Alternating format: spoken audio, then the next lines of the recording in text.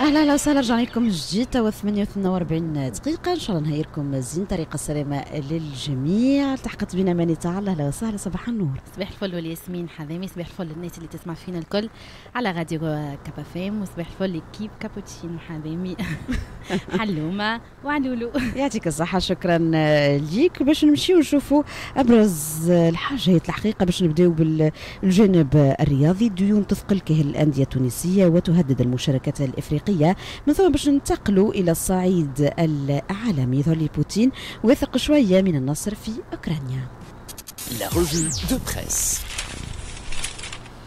خلينا نبداو آه، على الصعيد الوطني الرياضي في الرياضية. اليوم في عددها الصادر الاثنين 26 جوان 2023 ديون تثقل كاهل الأندية التونسية وتهدد المشاركات الإفريقية.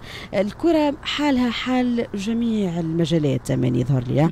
وين شارف زاد موسم 2023 22 على النهاية وبدأت ملامح بطل الدوري التونسي للموسم الحالي. تظهر للجميع النجم الرياضي الساحلي هو الأقرب الحقيقة لنيل اللقب وللمركز الثاني نلقاو زاد الإفريقي والترجي الرياضي التونسي مباراة اللي باش تكون فاصلة بيناتهم أو الاتحاد الرياضي بن قردين والاتحاد الرياضي المونستيري ولكن في آه هذا الكل الديون تثقل كاهل الأندية التونسية. نلقاو النادي الإفريقي مثلا تصل قيمة ديون ولا الفيفا 3 مليون دينار ونص. علاوة عن 3 مليون دينار ديون محلية وديون عاجلة كذلك.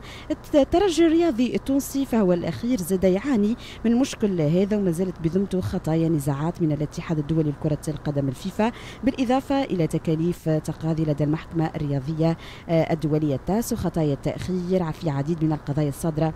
في حقها أحكام زاد نهائية صادرة منذ بداية آه، عام 2023 حتى صاحب لقب كأس تونس لكرة القدم الأولمبي البيجي اللي منتظر أنه يشارك في مسابقة كأس الكونفدرالية الإفريقية مطالب بدفع 700 ألف دينار قبل نهاية شهر جوان الجاري لضمان المشاركة الإفريقية على ما أظن الديون الديون تهدد فعلا المشاركات الإفريقية بالنسبة لأنديتنا آه، التونسية. المتنفس الوحيد هو الرياضة وبدوره يعاني زاد من آه، الديون. هذا بما يخص آه، الرياضية العنوان الأبرز اللي شدني الحقيقة اليوم طبعا باقي الأخبار تنجموا تلقاوها الأخبار الرياضية تنجموا تتبعوها في العدد الصادر اليوم باش نمشي معاك أماني آه، للأخبار العالمية. من جديد من جديد نلقاو روسيا وأوكرانيا آه، على الساحة. نلقاو تصريحات بوتين آه، موجودة وبقوة خلينا نقولوا.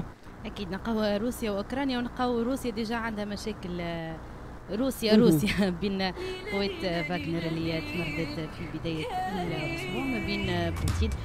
العنوان نلقوه بعد تمرد اليوم الواحد. بوتين واثق من النصر في أوكرانيا.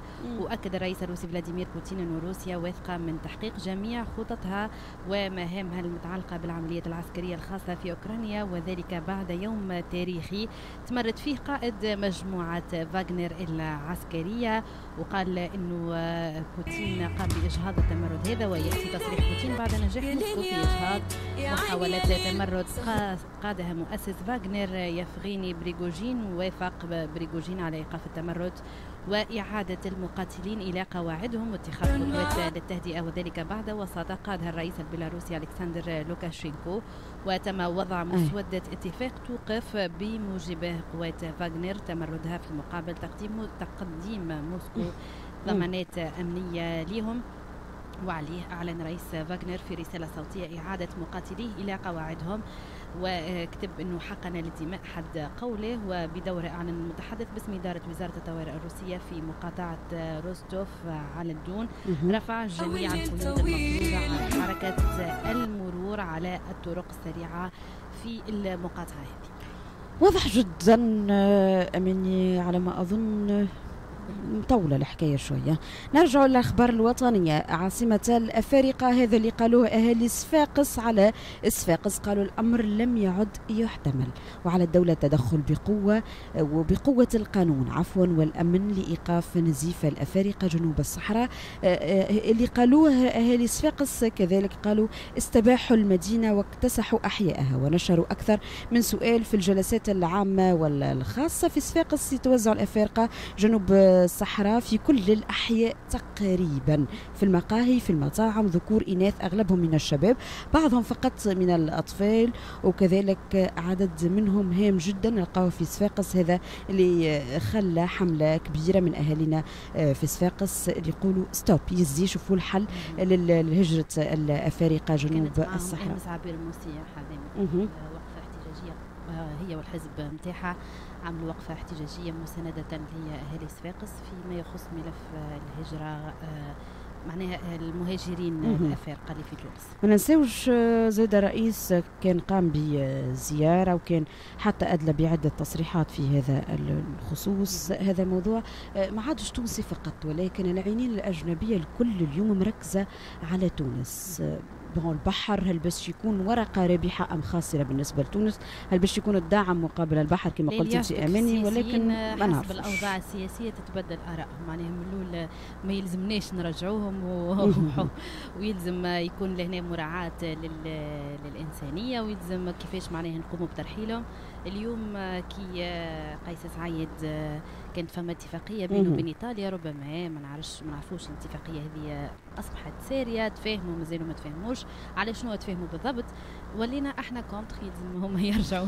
على ذكر على ذكر عبير موسي من أهم التصريحات لها قالت على السلطة ترحيل المهاجرين غير النظاميين. هذا اللي دعت دعت له رئيسة الحزب الدستوري الحر عبير موسي. دعت السلطة إلى فتح مفاوضات مع مفوضيه اللاجئين لترحيل المهاجرين غير النظاميين في إطار إعادة التوطين في بلدان في بلدان قادرة على استقبالهم. وعبرت على هذا إنه أمر لازم يكون قانوني ومطابق تطابق المعايير الدولية. هذا تقريبا اللي قلته أنت أماني. دونك أبواب اليوم مفتوحة لجميع التصريحات ولكن الحقيقة لازم تدخل عاجل في هذا الموضوع.